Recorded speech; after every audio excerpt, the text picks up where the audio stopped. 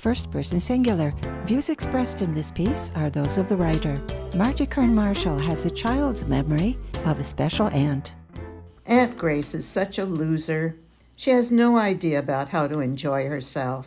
She never lets Uncle Sparky take her on a vacation. She never wants to leave her house. Poor Uncle Sparky. He has to go on trips all alone. He even goes to movies alone. Aunt Grace was different when she was younger. She was wild, almost a tramp.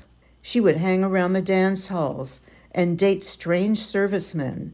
That's how she met Uncle Sparky. He was in the Navy. Aunt Grace dressed shamefully, with bobbed hair and short skirts. Uncle Sparky was so shy, I actually never heard him say a full paragraph.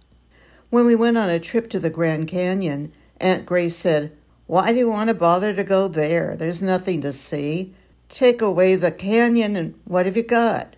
She said the same about the beach. Take away the ocean, and what have you got?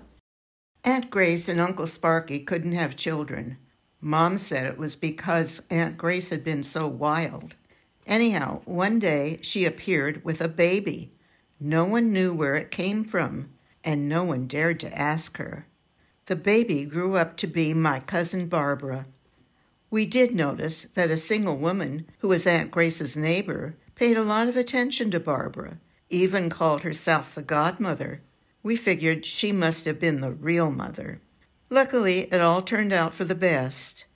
Barbara was adventurous and excelled in sports and became a keeper of the family archives. Margie Kern Marshall is a retired educator living in Santa Cruz.